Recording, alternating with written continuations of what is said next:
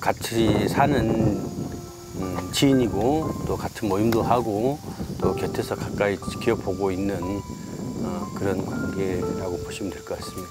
예, 인사성도 밝고 또 운동도 열심히 하고 또 무엇보다 친구 관계나 선후배 관계에서도 아이가 원하지 않기 때문에 어, 저희도 그 포항을 갔지만은 그 먼 거리까지 친구 선후배들이 이렇게 왔다는, 왔다는 거에 대해서 야참 어, 사람답게 사는 아이구나 어, 선배도 알고 후배도 알고 어, 그런 진정한 아이구나 라는 것을 느꼈거든요. 다른 아이들은 그러지 않은데 이 친구가 이렇게 사회생활 잘했구나 라는 생각을 해서 어, 더구나 나중에 이제 이렇게 뭐 언론에 비춰봤듯이 뭐 군대 생활도 정말 열심히 했다고 하고 어, 솔선수범했다고 하는 그런 내, 내용을 듣고도 아 이게 본성이 그렇지 않구나라는 생각이 들었습니다. 이 친구가 건축학과를 갔거든요. 예, 그래서 건축에 대한 게 관심이 있어가지고 어, 아버지의 직업에 다른 직업에 간 거에 대해서 아버지가 상당히 자부심을 갖고 어, 건축학도에 길을 아버지가 밀어주신다고 그러면서 아버지가 상당히 이렇게 자존, 자긍심을 갖고 있었어요. 어, 그래서 아마 잘할 수 있는 그런 아이였었는데 예, 한순간에 이런 일이 있어서 그 꿈을 펼치지 못한 점에 대해서 곁에 있는 우리도 어, 마음 아프죠. 지금은 저희만 모임을 같이 합니다. 다른 사람들은 거의 가면은 이제 위로라고 위로를 하지만은 정녕 본인의 가족은 위로가 아니죠. 그래서 저희끼리 이제 어, 가끔 만나서 밥도 한 번씩 먹기도 하고 밥 만, 만나서 먹더라도 대화가 없잖아요. 자식에 대한 이야기를 할 수도 없는 것이고 그저 그냥 어, 이런 느낌에 바라보는 느낌 그런 느낌이라 어, 저희들도 애들 키우고 있지만은 어, 애들 이야기도 할 수도 없는 그런 상황이고 어, 그런 상황입니다.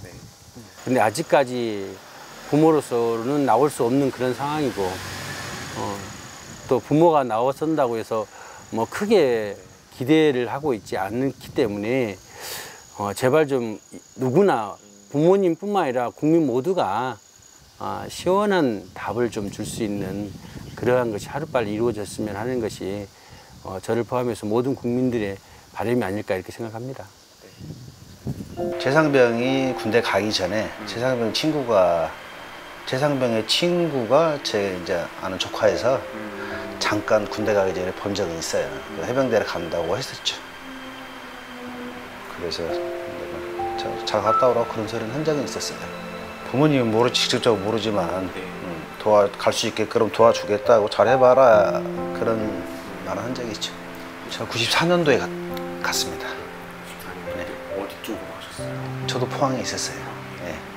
너무나 안타깝죠 일단은 음, 일어날 수 없는 사고인데 일어난 거고 뭐, 저보다는 부모님께서 뭐, 뭐 말로 표현할 수 없을 정도로 힘드시겠지만은 저 또한 뭐 남원에 있으면서 또 저희 후배고 이제 그러다 보니까 제가 또 수년간 전에 회장 맡고 있고 그러다 보니까 어, 하여튼 너무 안타까웠습니다. 별로 뭐라고 말을 못 하겠더라고요. 저 식사 자리에서 만났어요. 반말면서 친구들 사이에서도 이제 몇 명 같이 간다.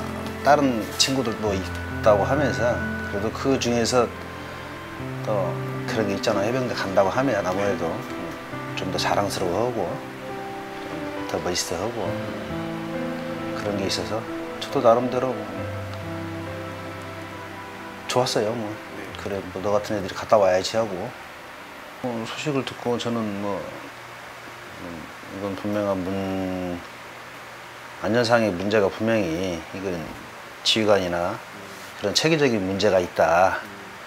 바로 저도 이렇게 그래서 포항 가려고 했었는데 뭐 이제 이 사정상 못 가보긴 했지만 저희도 뭐 98년도에 저도 지리산에 이게 물난리가 났을 때 저도 그쪽에 지원을 나가고 해봤거든요. 저희 뭐 민간도 뭐 슈트를 착용하고 가고 그러는데 어, 군부대에서 안전 장비 하나 없이 일반 사람들도 누구나 다그 물에 들어갈 때 장화를 신고 들어가면 안 된다는 건 다 알 거예요. 근데 그 자체부터가 잘못다는 게 아 이것은 엄청난 실수를 했다.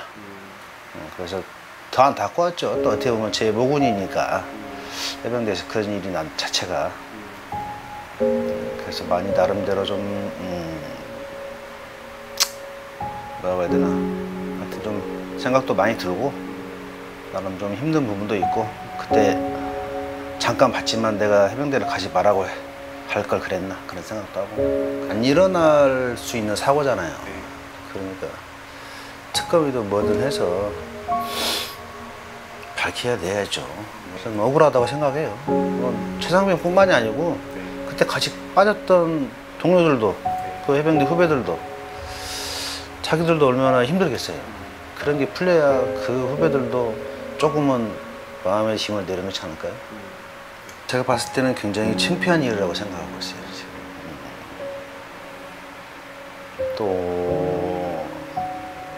뭐 쉽게 말해서 좌파, 우파 찾는 사람들. 어, 그런 사람들은 무슨 생각을 가지고 있는지. 첫 번째로 해병대 후 자기들 후배고, 또